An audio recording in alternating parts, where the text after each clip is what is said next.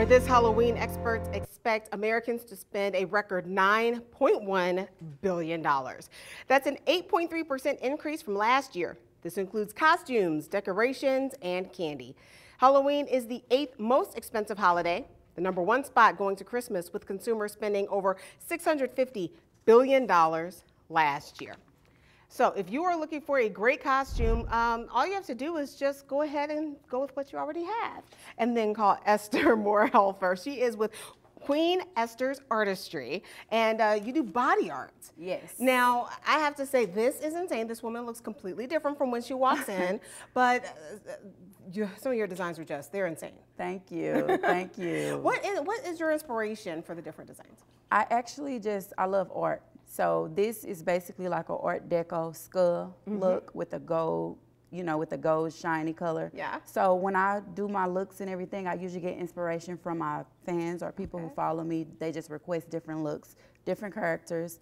Like I did the It recently, and they no. all like freaked out over it. Yes. So, so oh, everybody would tell me it, it looked yes. great, but then they left, yes. and nobody was around to tell me.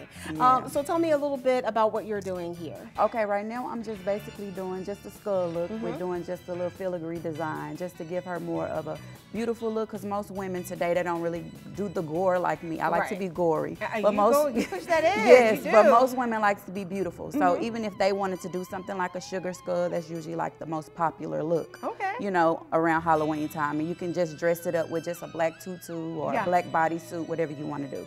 So that's why I decided to do something that'll probably capture the people attention or whatever. It's something that they usually go for. And uh, uh, go ahead and please continue your work. So what will yes. be your next step here? Okay, right now I'm just going to pop a couple more diamonds on her, just a couple more accents, and then I'm going to do like some gold leaf around it.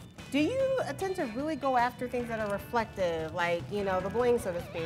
Yes, really yes. I'm a rainbow person. you look all on my Instagram page. I usually have rainbow hair, so I'm kind of mad I don't have it for the interview. Aww. But yes, I love it. But since I was doing the Halloween looks all this month, I'm doing 31 days of Halloween, okay. so you guys can check that out. Doing a different character every day, and uh -huh. I'm uh-huh. also going live doing it in front of my audience oh, on Facebook. Cool.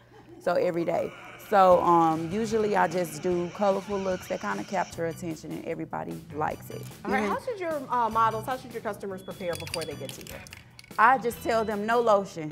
No lotion. if you shower, just leave your face no okay. lotion because the paint tends to not stick okay. if it has oil underneath and I just go around and oil the areas that I didn't paint, okay. you know, after. So I just say, come as you are come and let me are. take care of the rest. All right, yes. everybody, it's Queen Esther's Artistry, LLC, 6400 West Main Street in Belleville. Just go to styleseat.com and search for Esther Moore-Helfer.